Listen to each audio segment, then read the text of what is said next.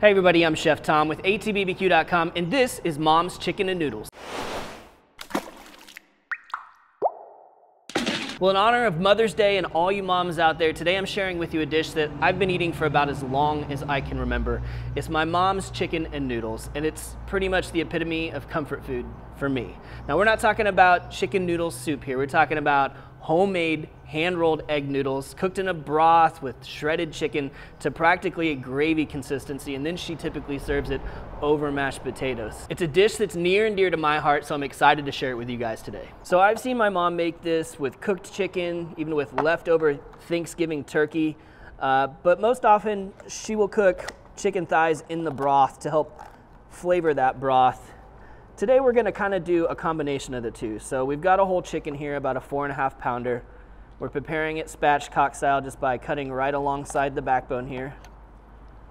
And we're gonna roast our spatchcock chicken on the smoker.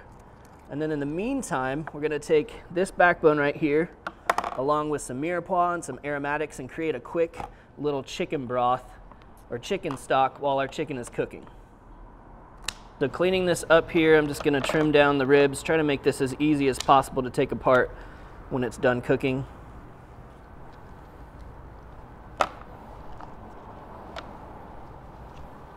Just get rid of this bone here.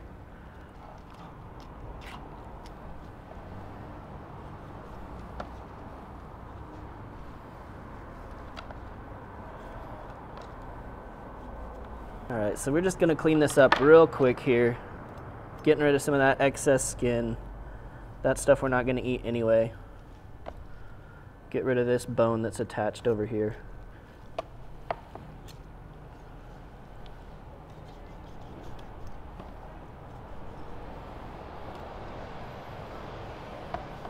And then we flip this over, press that breast flat. Now everything's on that same level so it can cook evenly. We're gonna expose all the flesh here so that we can season that up. We'll put it back before we cook it. Be careful not to tear the skin just to kind of expose all the meat.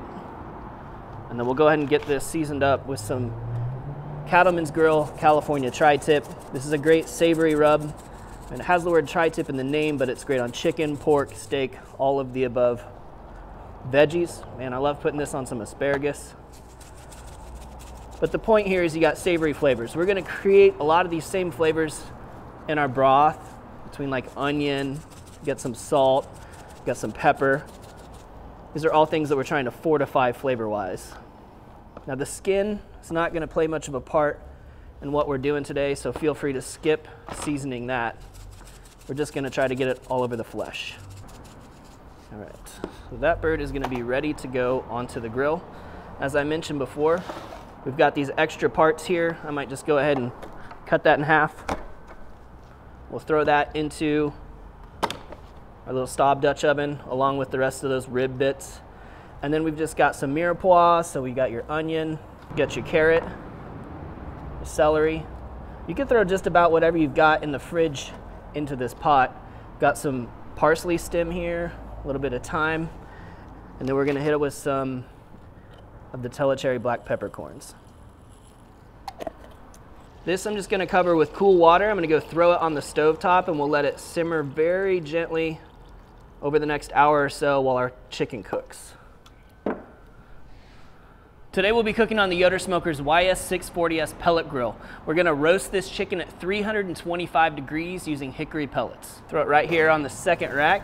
I'm gonna find myself a probe and we'll get into the breast where we want 155 degree finishing temperature. Now we're gonna go ahead and make our egg noodles. And in the timeline of things, this is something you wanna do first. So I've actually got another batch that's ready to go that I made this morning. They need at least two hours just to dry out, to kind of firm up once you've rolled them. So go ahead and do this early in the morning for dinner that night or even the day before, uh, or you can always just do it two hours before you're ready to start cooking. So we're gonna start with two cups of all-purpose flour. I'm gonna add to that one teaspoon of kosher salt. And then I'm gonna kinda create a little well right here in the middle where we're gonna add a quarter cup of milk and two eggs.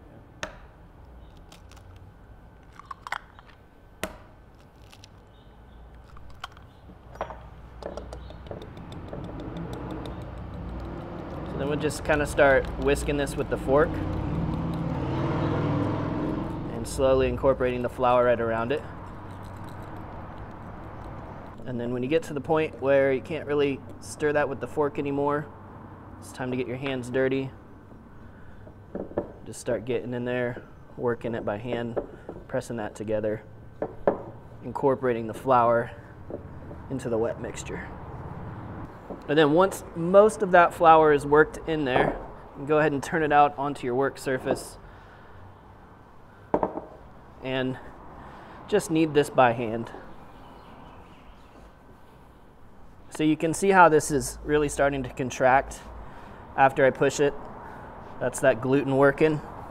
So what I want to do at this point is I'm going to kind of roll it out into an even shape.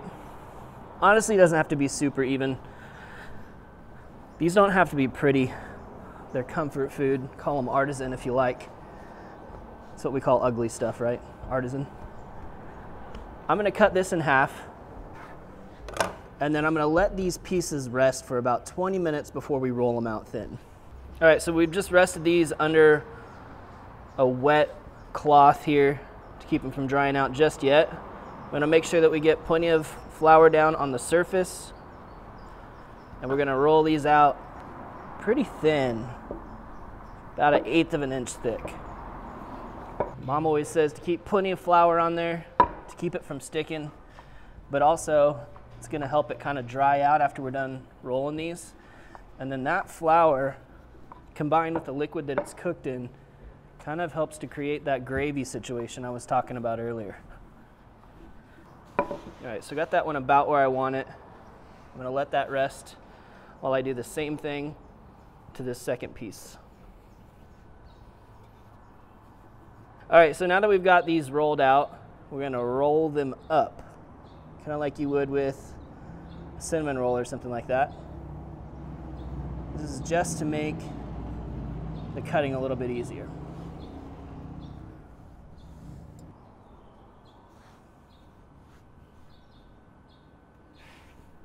All right, and then we'll get these side by side and we're just gonna cut them, oh, I'd say between like a quarter and a half inch thick because they're going to expand a lot as they cook. And then like I said, these need to dry out before we cook them. So at this point, we're just gonna unravel every single one of these, laying them out flat in a single layer without overlapping. Lay out on the table for at least a couple hours to dry out, just covered with dry towels. Well, our chicken's been on for about an hour now. We've reached our target internal temperature. We're right between 155 and 160 in the breast, so we're ready to pull this thing off the grill. Well, the noodles are dried out, they're ready to go. The chicken's done cooking, and the chicken stock is ready to strain so that we can get to cooking our noodles. So chicken stock's just gonna go through the strainer. I'm not gonna worry about cheesecloth today. Any of those little extra bits of flavor all right with me. Looks like we got about a quart out of that. I'm gonna guess I need two to three more quarts for cooking these noodles, but this is what we'll start with. So we're gonna add our chicken stock to our five quart Dutch oven. We'll get the noodles in there and then we'll just add water to cover initially if we need to and then continue to add water as it thickens while it cooks. This is all just kind of done by sight and by feel here. You can see how much more rigid these noodles have become during that drying time. So we're gonna bring this up to a simmer. Pretty well covered now, we'll add just a little bit of water. Bring that up to the simmer. All right, mom says that the water and the broth should have been boiling when I put the noodles in, so my bad, listen to your mom.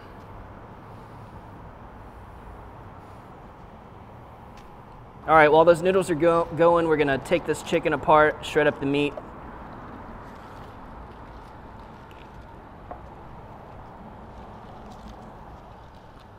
The skin we don't really need for this recipe. We're just gonna be using the meat of the chicken. What we do wanna keep is all of these juices in the bottom of this pan though. Those are gonna go in with the noodles here in a little bit. Do we need some more water in here, Mom? Yeah.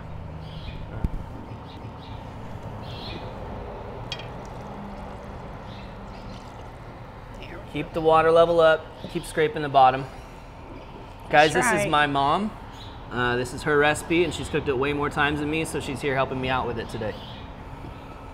We've been going about 20, 25 minutes here on the noodles, just adding water as we need to. Say here in about five minutes or so, according to what mom thinks, we're gonna throw our chicken in. You wanna stir it while I add it in? Sure. All right, so we're gonna take all of those juices that cooked with the chicken, make sure we get those in there as well. I think my chicken and noodles has more chicken than mom's. Yeah. We're just gonna add chicken until we can't add chicken anymore.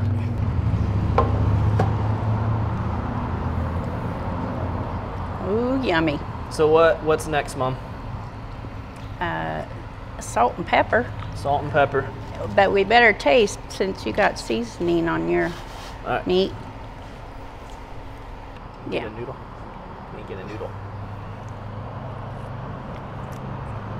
Oh, need salt, need pepper. For sure. Little bit of pepper.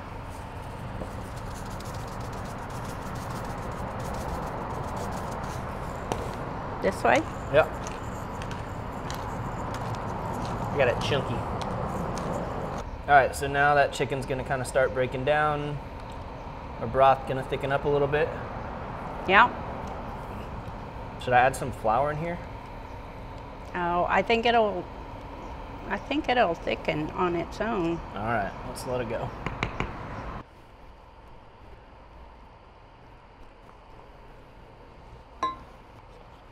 Is this more than you normally cook at a time, or do you cook this much at a time?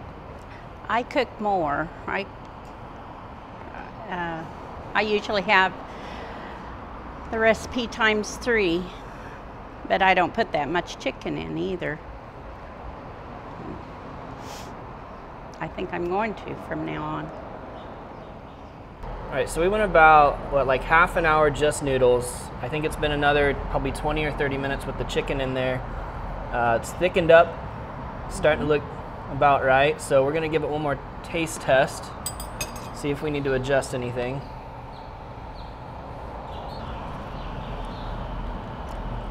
That's good. I like where it's at. Yeah.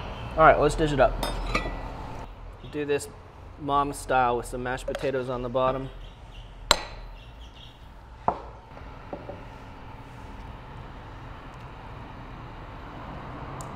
Got all that good meat. Heavy on the chicken. Mm -hmm. I always like a little extra pepper on mine. Of course, you know I always reach for the hot sauce too.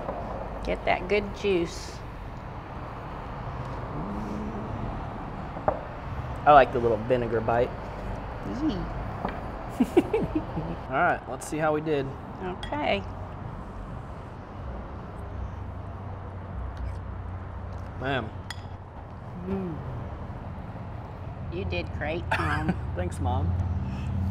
That's great. Very good. I love it. I'm glad that we've been eating this for so long because it's like this is my comfort food. Yeah. Very good. Well, thanks for coming on today. You're welcome. Happy Mother's Day. Thank you. Love you. I love you. Well, thank you guys so much for watching. Be sure to check out atbbq.com for all the products featured in today's video. If you enjoy the recipe, hit that subscribe button. And if you have any questions or comments or there's anything you'd like to see me cook, let me know in the comment section down below and let's be good to one another. For more recipes, tips, and techniques, head over to atbbq.com slash the sauce. All things barbecue, where barbecue legends are made.